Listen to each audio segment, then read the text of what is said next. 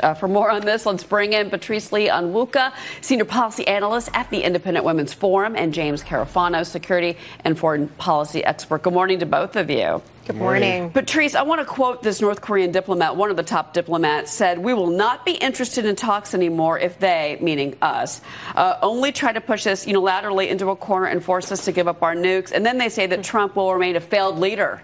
This is not rhetoric of a positive outcome for this summit. I think they're pushing back on a lot of positive news that the administration has gotten in trying to actually secure this meeting. Um, you know, those who are cautiously cautiously optimistic or those who are extremely pessimistic recognize, though, that North Korea is very likely going to have they've reneged on their their deals in the past, and they are probably just th- throwing up some roadblocks here. Um, I think what was optimistic, though, in this case, was the release of hostages recently, but they've done that in the past in 2009 with Bill Clinton, in 2010 with Jimmy Carter. So, you know, mm-hmm. I think what's going to matter here is the, the, the pressure that China kind of exerts here in the China um, U.S. negotiations this week on trade. Can we loop have like some? Can we use China's pressure in a way to wrangle in North Korea? That's a really good question, Patrice James, and I'll take that question to you because where does China fit into all of this? We're still in very tense negotiations with the Chinese over trade, and now you've got the North Koreans, uh, Koreans pushing back. Excuse me.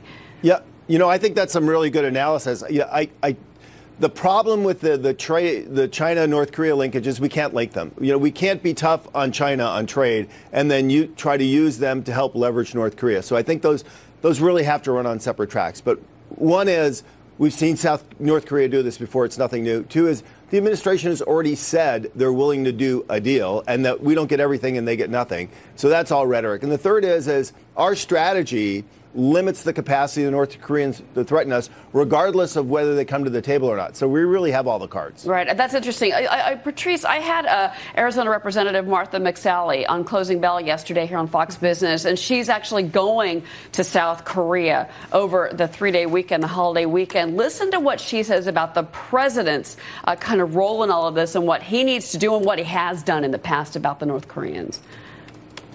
This president has put us in a historic opportunity. Uh, but we are going in, as the president has said, very clear eyed that we've seen the North Koreans in the, in the past play games with this, talk the talk, but then not change their behavior. Mm-hmm. Uh, so all of the hard work is really in front of them. And the North Koreans have to decide whether they want to continue to suffer under the maximum pressure campaign, which will yeah. only get stronger with President Trump's leadership. Economic sanctions, Patrice. That's the, that's the true story here.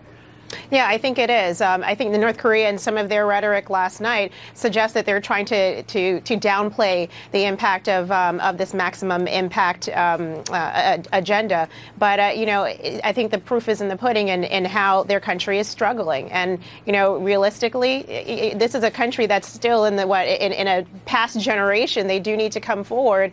Um, and unfortunately, the leader of the nation is less is more concerned about his standing and, and his nuclear ability and less about the you know the economic security of his people. Well, or about his own survival, James. You know, this uh, you have to remember that this top diplomat from North Korea also called out uh, John Bolton and, and, comments on these demands from John Bolton to, to denuclearize in North Korea. You know, they're worried that they're going to turn into Libya. We all know what happened to Muammar Gaddafi. You know, I, I don't think the Libya comparison really holds up. I mean, it's a completely different story. And, and Gaddafi lost his country because he lost control of his country, not because he gave up nuclear weapons. And remember, he didn't even have nuclear weapons. So the whole comparison is just fatuous. Oh, well, Patrice James, again, like again, watch your Twitter today, as Grip just we'll said. Do. We'll see what the president has to say about all of this. Thanks, guys. Fascinating.